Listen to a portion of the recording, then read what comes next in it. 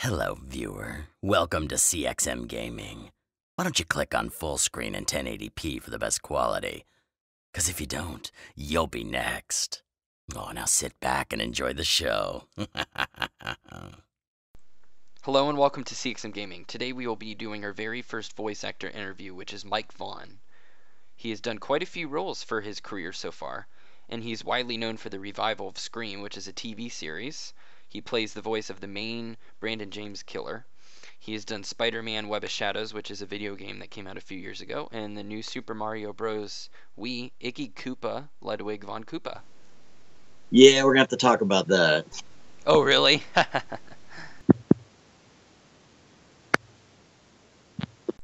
well, hello, it's nice to meet you, Mike.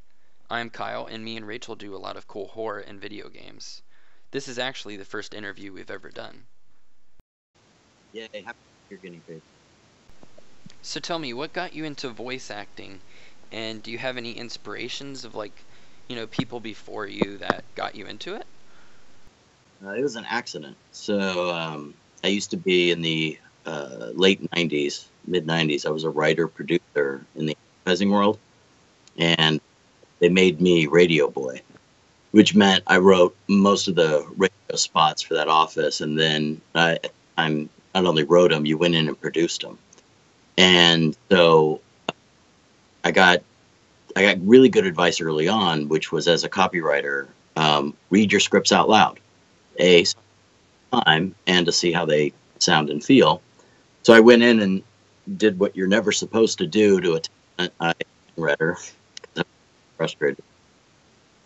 No, no after she left, the engineer said, Wow, you've got that Gen X thing down. You ever thought about doing voiceover work? And I said, God, no, I hate the sound of my voice. Well, did you see her contract and how much she made? And I said, Oh, yeah, cut me a demo. So I just read three of my own scripts, um, moved to Portland, Oregon about a month later. And I put the three script demo that I'd read as a cassette under an agent store, the best agent in town. And they signed me that Monday and I just did it for fun while I continued on in the advertising marketing world. And I would just go in a couple times a week and record the cassette, and I was just having fun. And I didn't book anything for like a year. And then after a year, I got my first gig, then my second, then my third, and I was like, oh, this is interesting. Oh, look, you can do this online now too. So I just built it up over time. And then by 2006, um, acting was a third of my income, particularly. And I was like, you know, it doesn't look like the world of LA, games, video games, and animation is coming up here. I guess I better go down there. So I went down there in 07, um, got signed by a couple agents right away, and was a full time actor within that year. And then I've been a full time actor ever since.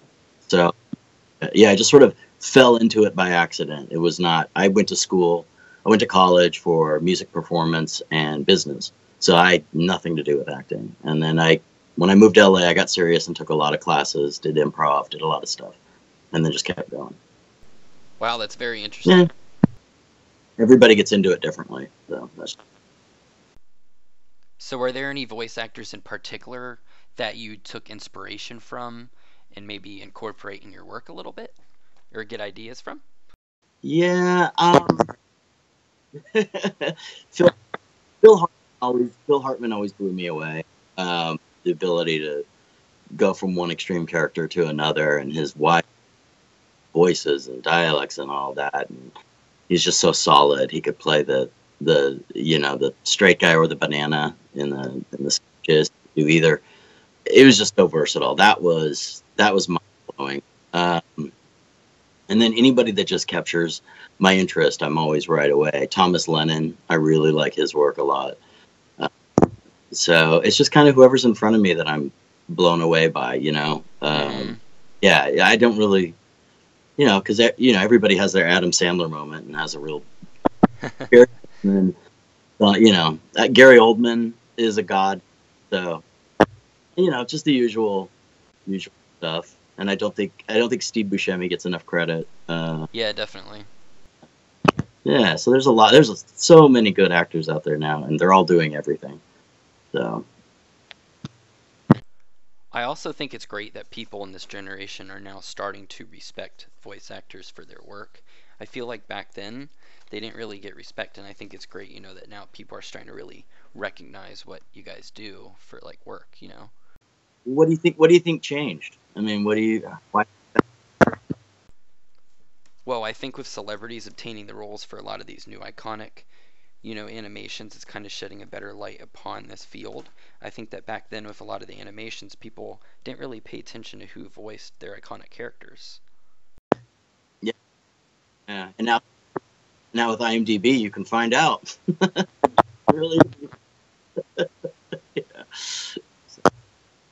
yeah, I don't know. It seemed like um, it seemed like you know celebs are uh, you know going for anything and everything. Like I said, everybody's doing everything that's interesting to them, and that's great. Uh, so, uh, you know, it used to be back in the day if you did films, you don't dare do television. If you did television, you dare didn't do animation. But now nobody cares. So. Yeah, I think that's great. Hmm. Yeah, I know. I know. I know. I'm auditioning against some names a lot of times. So it's it's it's harder to win, but it's sweeter when you do.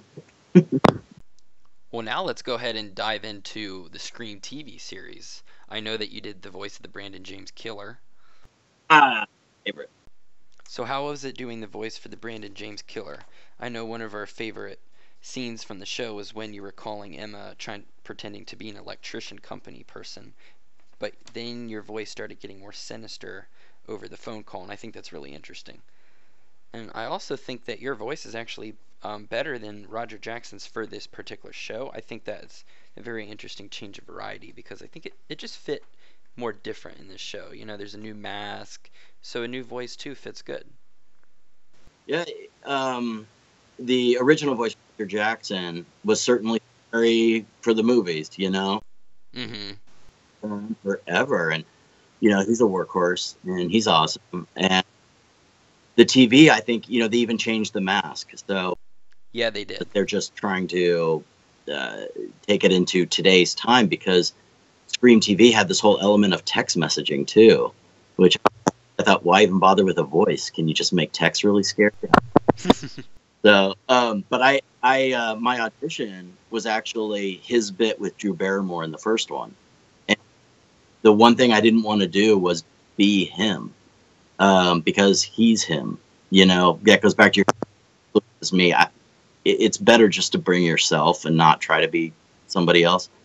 And I just that night when I got the audition, I was like, yeah, I'm probably going to put a ton of pressure on myself for this, so let's try something different. So I went out on my patio. I had one scotch, one cigar, went right in the booth and just did it in one take for fun, just for fun. Just had Woke up the next morning thinking, eh, I'm gonna have to, you know, do it again and send it one. I listened back and I was like, nah, that was fun, and I sent it. And through a lot of other, uh, you know, my booth director having a relationship with the casting director, the casting director actually knowing me, and my audition, all that came together, and I got the gig without another audition. So that that was incredible. But I decided to do something different, which uh, when I scare people, when I try to, when I, when I'm angry and I'm trying to scare somebody, that, and so, and you're not trying to be scary as an actor. You're trying to get something. You know, you're you, you need something.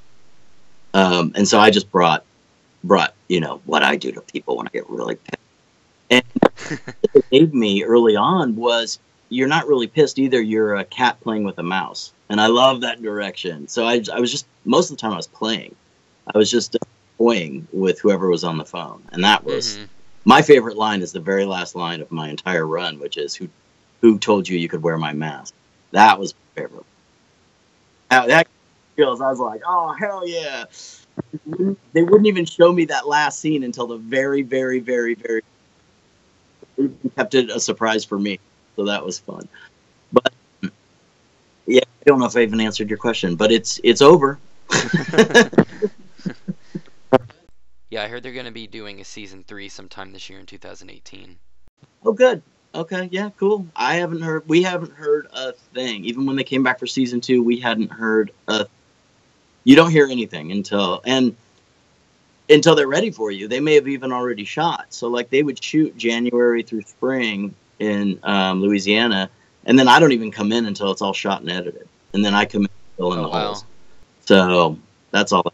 It was a fun, awesome gig, but yeah, I, I season three comes out. I it's not looking good. It's been a couple years, so Yeah, I know, right? Honestly. fingers crossed. Well, yeah, we really enjoyed the series, and I think your voice is great. You scared the crap out of me for most of the episodes that I watched, for sure. Like every time you pick up the phone, you're like, "Yay! I can't wait to hear your voice." Well, awesome. Well, thank you very yeah, definitely, no problem. And yeah, I think that the Scream TV series is definitely one of the best um, roles that you've done. I think that you've definitely liked it quite a lot as well, like you said. Yeah, yeah, yeah. That was my first. Them that. So tell me, how was it like recording the voiceovers for the Brandon James Killer? Like, were you ever on set, or were you always off set when you did them? Here, here's here's actually what happens. Um, I get called in for a session. Uh, I have to wait a couple minutes while they get the session ready. I walked into Wildfire Studios, which is this really nice studio that was blocks from my agent agent's office, and um, you just walk in. There's a giant screen, microphone above you, and the scripts on the stand in front of you. All I got, and then they would play the scene on the screen, and I'd see it, and I might want to see it one more time, and then I get three beeps, beep, beep, beep, and then I do my lines. And so I would hear um, whoever I was having a dialogue with sometimes, and then look at the script, see what that person's doing, make my decisions, and go. So there's no sitting back, nothing. I'm walking from my car, getting a coffee, going into the booth, doing the work, and leaving probably within less than an hour. And wow, sometimes that's crazy. more than one show in that hour too. So it's fast and furious, and you don't get you don't get time, and you don't see the scripts ahead of time. You don't get anything. In fact, one time, uh, the producer Aaron he gave me his cell phone, his iPhone six at the time, and he said, "Give us the scratch track reads, where that's where I read them before they've edited, and then they use my lines to edit around." And so I was just reading wild, just reading off his phone And there were two episodes that were read off his phone that went straight to air. I didn't. I was not called back to the session for it. So it was just that's how fast they work. And those guys work hard and they work long hours. So you know, the talent you gotta you gotta like okay, you know, get your marks, do it, and get out. Wow, that's crazy. so did you ever meet any of the cast from the show, like when they were offset? You know, like not recording during the lines and stuff. Yeah, um, Tom Mack played Jake. I met him. We had a we had a nice, decent conversation. Um, you know, brief. And then um, the guy who played Emma's dad. I'm spacing his name because I'm really bad at names. Me too. Also, the guy who played Kieran. I'm spacing his name. He has a weird name though, right? Yeah, he has like a really weird name. I can't remember how you say it. See, we're good at this. So, uh, they they would come in. They would be doing what's called ADR uh, work, where they're fixing their lines or doing their you know death noises or efforts or whatever they didn't get when they recorded the scene. So they're coming, you know, months later after shooting and replacing their lines. And so they would go, um, they would go first, or the loop group would go first, and then I'd come in. And so in passing, we'd be like, "Hey, how you doing?" And uh, you know, small conversation and all that. So That's yeah, it was cool. brief, but there. I I actually, when I left a scream session, there was um, Warren Beatty sitting there, and we fought we fought over who gets the booth. So it was fun. That dude, that dude looks good for his age. Holy crap! like, damn, damn. Everything's all perfect in Hollywood. It seems like. Oh, pe- oh everybody's so pretty. Let me tell you, it was amazing. And I love doing the work. Um, but yeah, life goes on. You know, on to the next gig. I've been the voice of PBS Kids after that. So to go from killer to like kid friendly up next voices.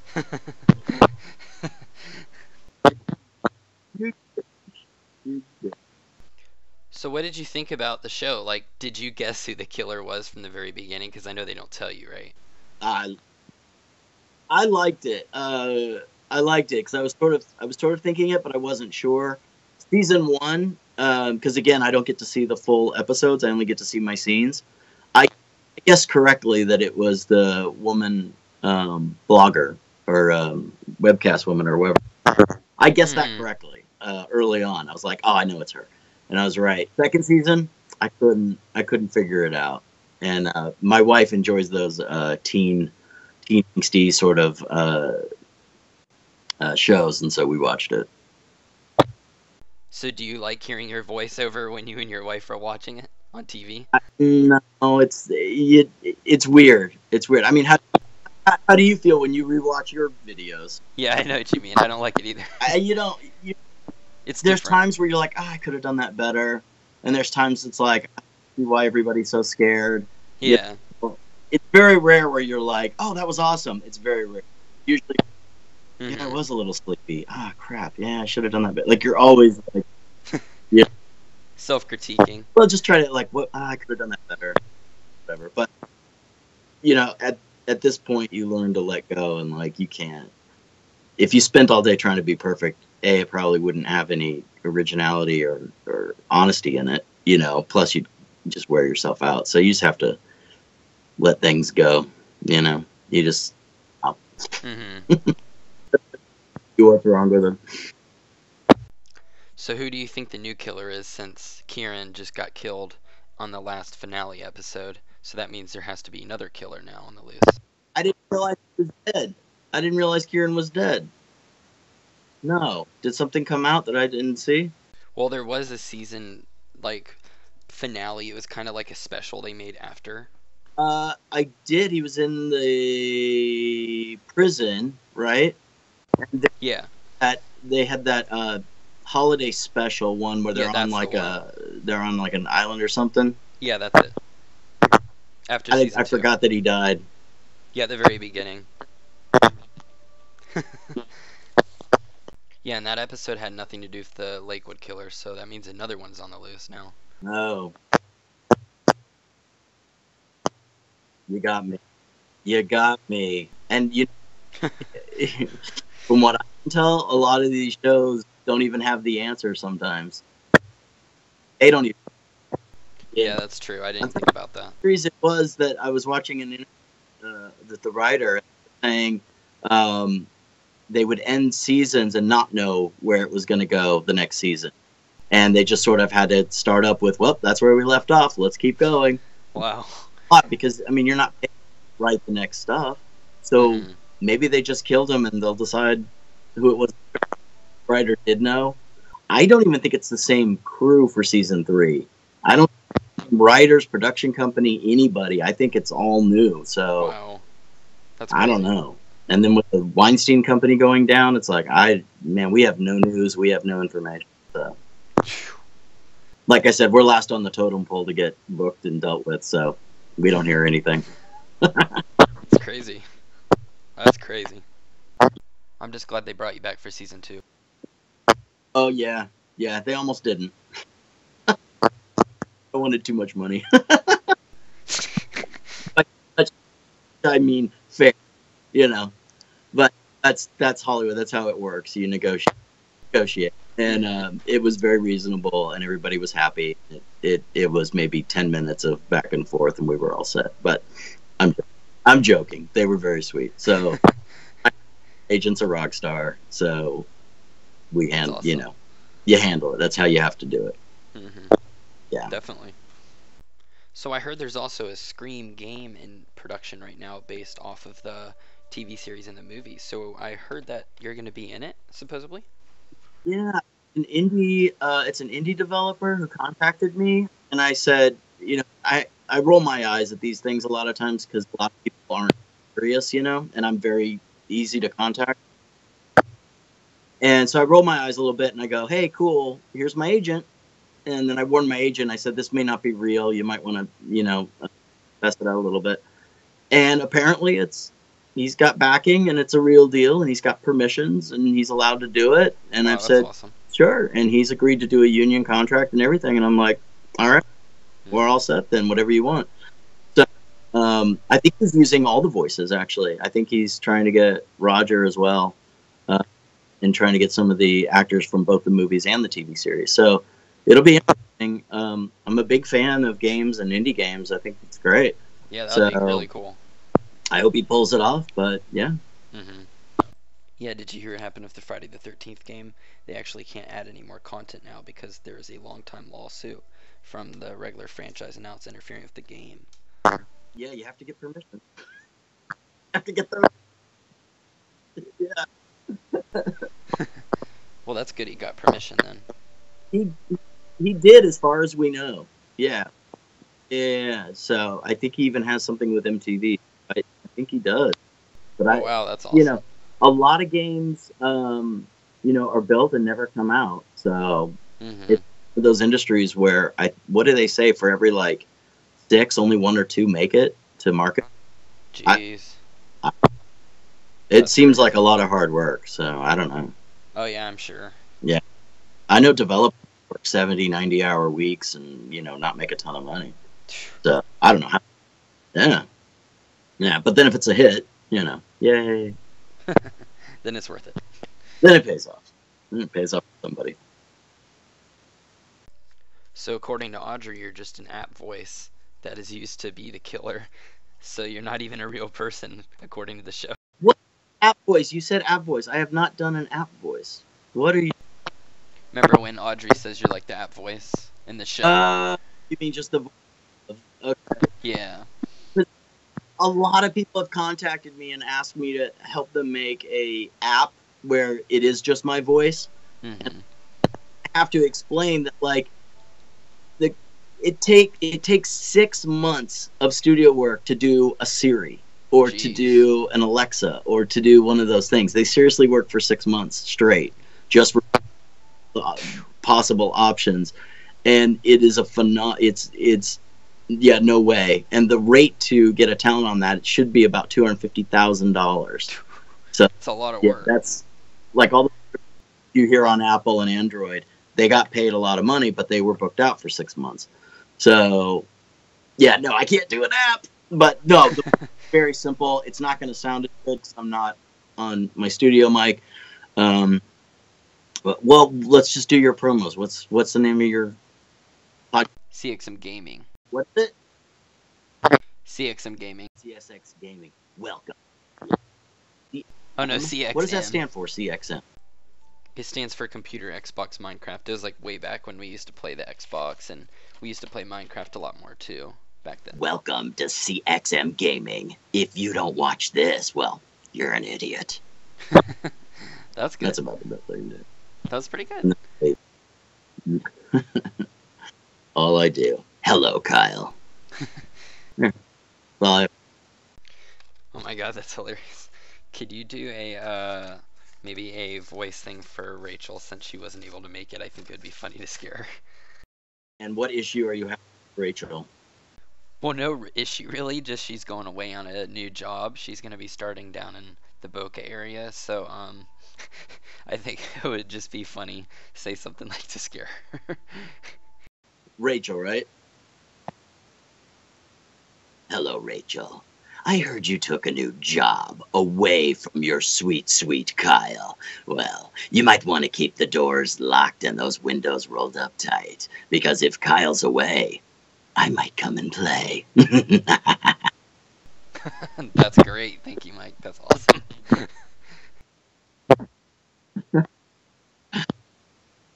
you may not have a girlfriend after this.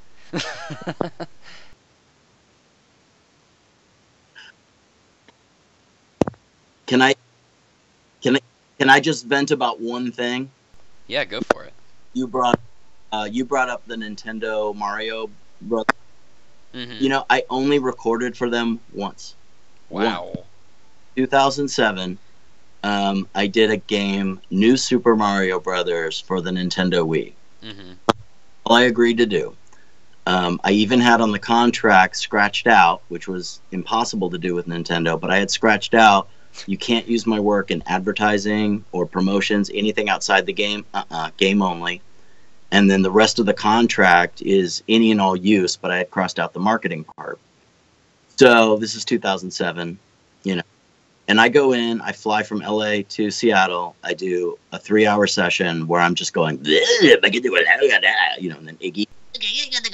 Like that's all I'm doing is basically speaking in IKEA and all the efforts and deaths and all that.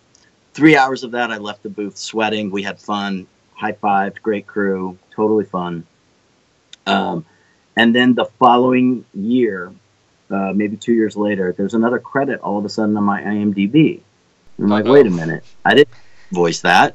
And so I checked with a friend who played it, and he's like, oh yeah, it's still you. And I'm like, okay, I didn't get paid for it. and so I contacted my agent, and they said, well, the contract said any and all use. And who in their right minds would have thought that a video game development company, a video game publisher, would take the same work from one game and literally cut, copy, and paste it into a new title with brand new, you know, $60 per game fees. That's insane. So they took old work, pasted it back in because it's gibberish, and didn't pay doesn't pay their actors.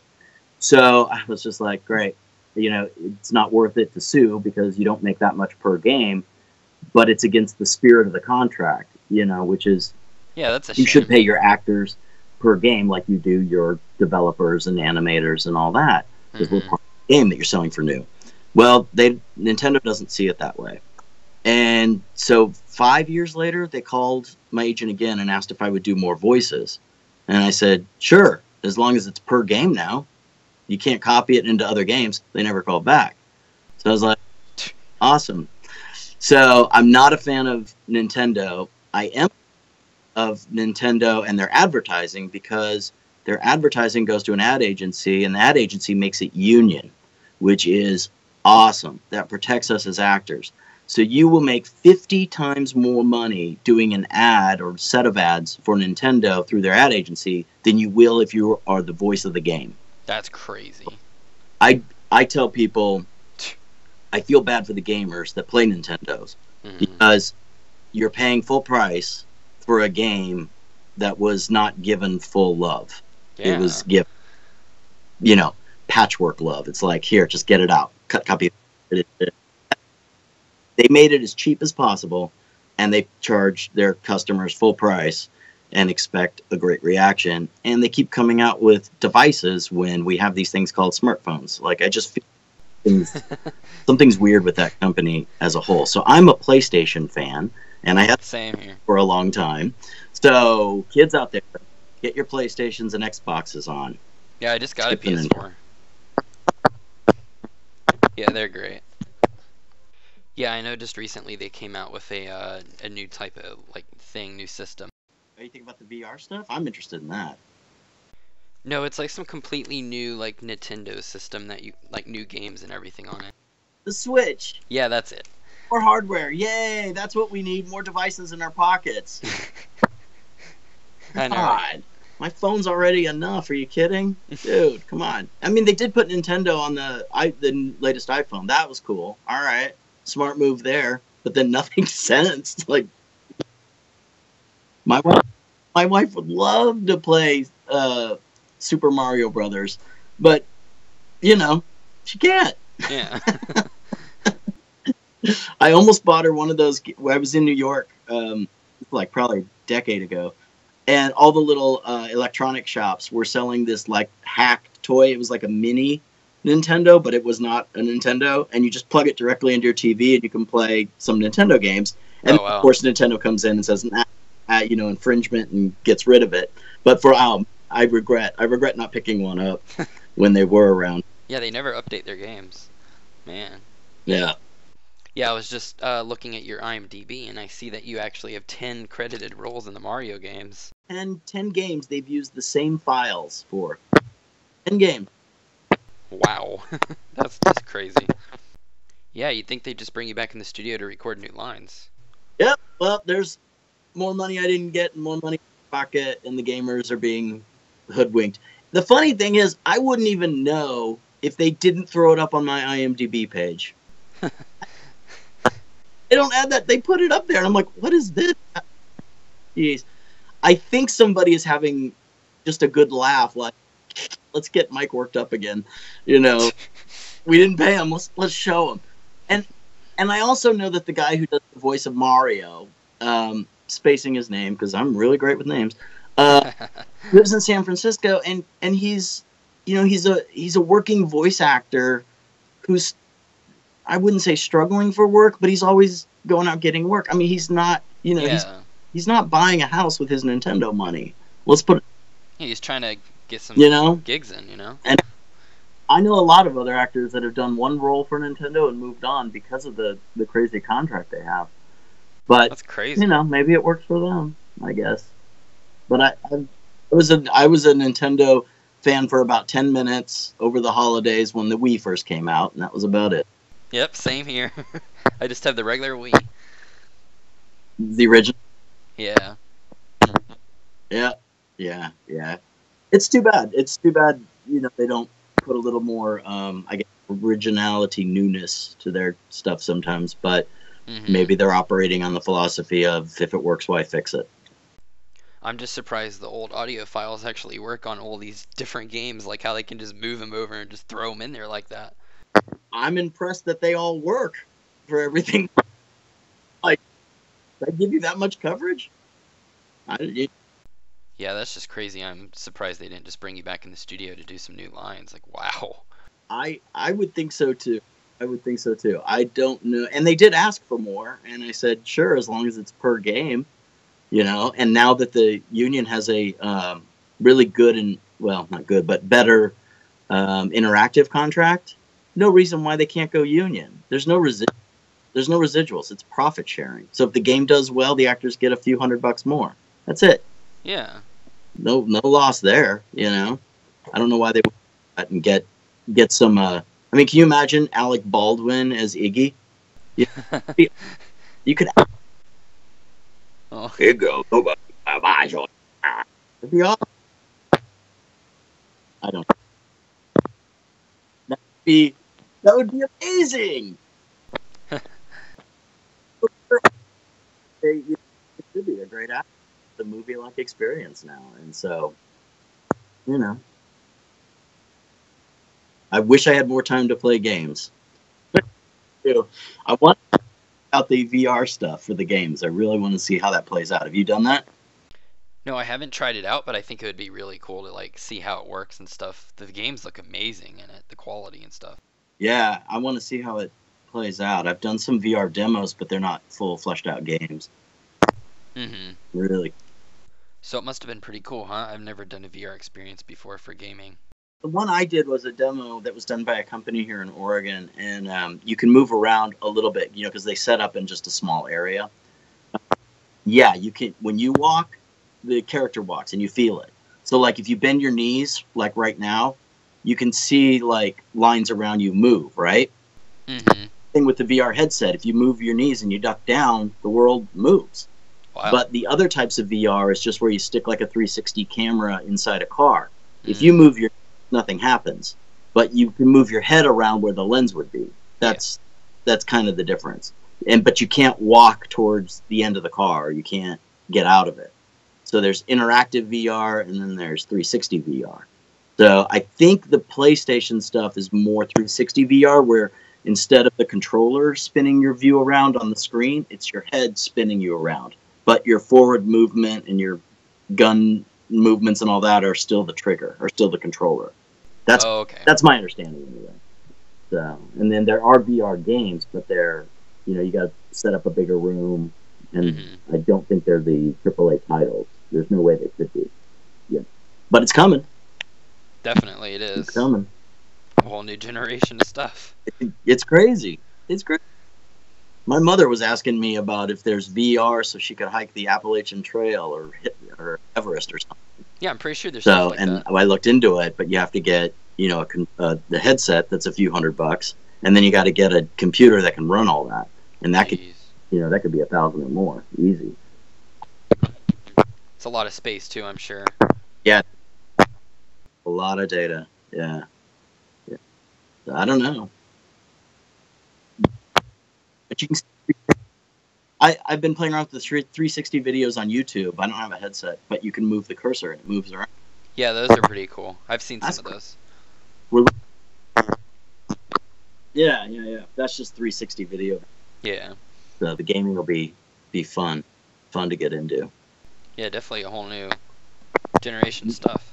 So if your if your Minecraft is what you did before, what are you into now?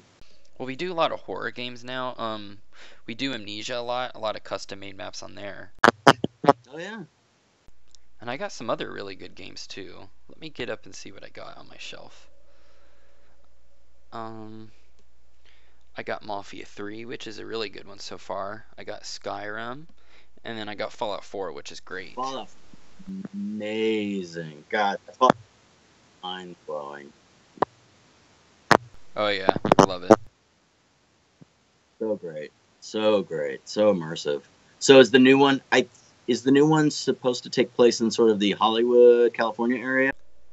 No, I don't think so. I think it actually takes place in Virginia, but I was hoping it would. Ah, California. God, they're really sticking to the East Coast. Yeah, I know. I wish they would start spreading more out west or something. Yeah, I think the new Far Cry is p- the Pacific Northwest, right? Yeah, I think so. Yeah, yeah, yeah. Well, I'm Boy, I want I want to see a Grand Theft Auto in Portland and Seattle. Be funny. Delivering your whole product is weed and meth. That would be amazing. There were actually rumors um, that it was going to take place in Portland, so that would actually be pretty funny. That would that would be interesting, man. Portland's fun. Yeah, it seems like a beautiful place. And you're in Florida, right? Yeah, What part? uh, near Orlando, about a 40 minute drive. Yep. Pretty nice area. Oh, cool. Very good. Yeah. Awesome. Yeah. Yeah. Cool. I may have gone to Daytona a couple times during my college years. Pretty nice area, right? No, no, it wasn't. oh. These spring break jams, yo. it was. Good. so when did you move to Portland? Uh, I moved to Portland last September. Oh, nice. I just yeah, because voiceover work you can pretty much do from anywhere now, and, and um, I was flying back for my um, gig for Final Fantasy, Final Fantasy Mobius. So I was Mhm. flying when I had a gig for that and staying a couple days and then flying back. And Oh, so it's a two-hour flight from Portland. It's nothing. So Awesome. live here, work there, boom. Hmm I love it here. I love it here. The winters are rough, but it's it's lovely right now. Sun's out till 9 p.m. and it's it's nice and warm and it's awesome. That's great. And there's no there's not a lot of smog like LA. I I didn't want my kid to uh, grow up in a car and with all that smog, and so Mhm. and I wanted be able to run outside and run down the block, and so we had to we had to pack it on up and get back up here. It's been working. That's nice. Yeah. I don't think I've ever been to Portland, but I've been in the main Seattle, you know, Washington area where, you know, they have the Space Needle up in the sky and it's a really nice area. It's definitely a beautiful city for sure. I go there again. Yeah. Hit me up if you come up. Definitely. We'll. That would be All cool. right. My time is past, mister. I gotta get on with my day. All right. well, thank you for your time. It was great. No problem. Well, I hope you guys enjoyed this nice little interview and we will see you guys next time. Thank you for joining us. See you guys. Bye. I, I can see what you're doing. You better like and subscribe, or I'm gonna gut you like a fish.